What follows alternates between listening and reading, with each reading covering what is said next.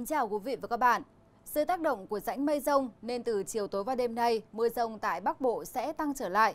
Riêng khu vực Trung Du và vùng núi có thể xảy ra mưa vừa đến mưa to, kèm tố lốc và gió giật mạnh. Do mưa tăng nên nền nhiệt trên khu vực chưa có nhiều biến đổi. Đêm nay ngày mai giao động từ 23 đến 33 độ.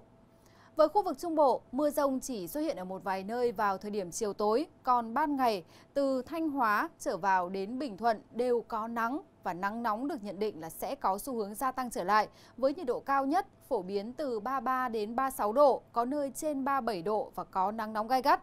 Do ảnh hưởng của nắng nóng nên người dân ở khu vực Trung Bộ cần cảnh giác với nguy cơ xảy ra cháy nổ và hỏa hoạn cũng như nguy cơ cao xảy ra cháy rừng. Khu vực Tây Nguyên và Nam Bộ, chiều tối nay chỉ có mưa ở một vài nơi, nhưng người dân vẫn cần đề cao cảnh giác với tố lốc và gió giật mạnh. Ngày trời có nắng gián đoạn, với mức nhiệt độ ngày đêm tại Tây Nguyên giao động từ 20 đến 32 độ, còn Nam Bộ là từ 24 đến 34 độ. Đến với Biển Đông, tại cả quần đảo Hoàng Sa và Trường Sa đều phổ biến có mưa vài nơi, gió Tây Nam cấp 4, cấp 5, tầm nhìn xa trên 10 km, thời tiết nhìn chung không ảnh hưởng gì đến hoạt động hàng hải nơi đây. Đến đây, chúng tôi xin kết thúc bản tin chung tại đây. Tiếp theo là dự báo thời tiết các vùng trong 24 giờ tới. Dự báo thời tiết trên đất liền, phía Tây Bắc Bộ nhiều mây, có mưa rào và rông rải rác. Riêng chiều tối và đêm có mưa vừa, có nơi mưa to, gió nhẹ. Trong mưa rông có khả năng xảy ra lốc, xét, mưa đá, gió giật mạnh. Nhiệt độ cao nhất từ 29 đến 32 độ, có nơi cao hơn. Phía Đông Bắc Bộ, chiều tối và đêm nhiều mây, có mưa rào và rông rải rác. Riêng Trung Du và vùng núi có mưa vừa, có nơi mưa to. Ngày có mưa vài nơi, gió nhẹ. Trong mưa rông có khả năng xảy ra lốc, xét, mưa đá, gió giật mạnh. Nhiệt độ cao nhất từ 30 đến 33 độ, có nơi cao hơn. Các tỉnh từ Thanh Hóa đến Thừa Thiên Huế, mây thay đổi, chiều tối và đêm có mưa rào và rông vài nơi. Ngày nắng nóng, gió Tây Nam cấp 2, cấp 3. Trong mưa rông có khả năng xảy ra lốc, xét, mưa đá, gió giật mạnh. Nhiệt độ cao nhất từ 33 đến 36 độ, có nơi cao hơn.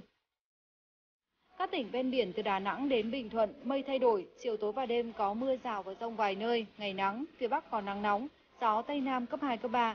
Trong mưa rông có khả năng xảy ra lốc, xét, mưa đá, gió giật mạnh, nhiệt độ cao nhất từ 33 đến 36 độ, phía Bắc có nơi cao hơn. Tây Nguyên mây thay đổi, chiều tối và đêm có mưa rào và rông vài nơi, ngày nắng, gió Tây Nam cấp 2, cấp 3. Trong mưa rông có khả năng xảy ra lốc, xét, mưa đá, gió giật mạnh, nhiệt độ cao nhất từ 29 đến 32 độ, có nơi cao hơn. Các tỉnh Nam Bộ mây thay đổi, đêm có mưa vài nơi, ngày trời nắng, chiều tối có mưa rào rải rác và có nơi có rông, gió Tây Nam cấp 2, cấp 3. Trong mưa rông có khả năng xảy ra lốc, xét, mưa đá, gió giật mạnh, nhiệt độ cao nhất từ 31 đến 34 độ, có nơi cao hơn.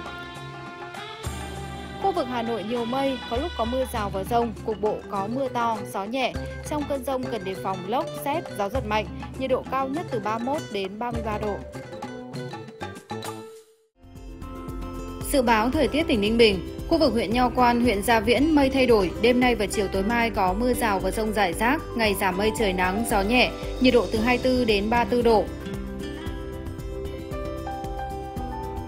Khu vực thành phố Tam Điệp, huyện Yên Mô, mây thay đổi, đêm nay và chiều tối mai có mưa rào và rông rải rác, ngày giảm mây trời nắng, gió nhẹ, nhiệt độ từ 24 đến 34 độ.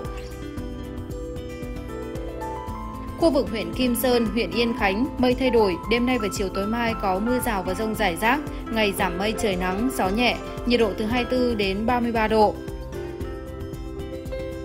Khu vực thành phố Ninh Bình, huyện Hoa Lư, mây thay đổi, đêm nay và chiều tối mai có mưa rào và rông rải rác, ngày giảm mây trời nắng, gió nhẹ, nhiệt độ từ 25 đến 35 độ. Tin thủy văn, thủy triều thấp, mực nước trên các sông biến đổi chậm và dao động theo thủy triều. Mực nước cao nhất trên sông Hoàng Long tại Bến Đế ở mức 1,25 đến 1,45 m, thấp hơn báo động 1 từ 1,55 đến 1,75 m. Trên sông Đáy tại Ninh Bình ở mức 1,2 đến 1,4 m, thấp hơn báo động 1 từ 1,1 đến 1,3 m